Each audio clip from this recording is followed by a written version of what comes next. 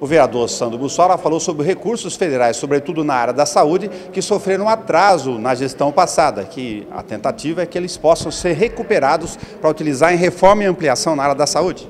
Nós sabemos que havia um projeto de reforma e ampliação para seis núcleos de saúde que estão com situação precária na cidade de Bauru. Houve um atraso em relação a isso e quando o município foi buscar, houve o depósito da primeira parcela de 275 mil reais e logo em seguida houve um corte desse programa por parte do governo federal.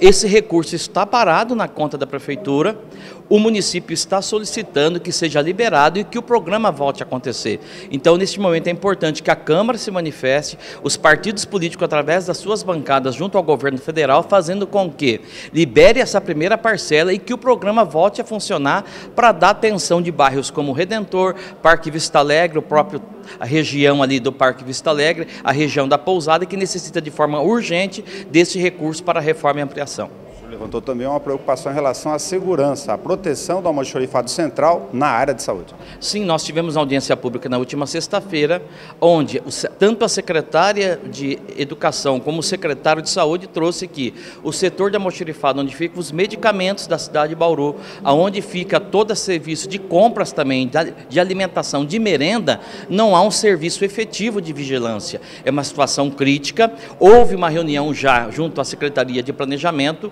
que encaminhou uma proposta para o executivo que contrate, faça um convênio com a atividade delegada para prestar serviço de vigilância, tendo em vista o quadro deficitário de vigilante na cidade de Bauru. É preciso agir de forma emergencial. Hoje nós já tivemos notícia essa semana de escola como Fortunato Rocha Lima, que foi invadido, depredrado. Imagine agora o mal xerifado, tanto da saúde e educação, aonde não há vigilância para acompanhar. Obrigado ao vereador Sandro Bussola, que falou conosco para a Rádio e a TV Câmara.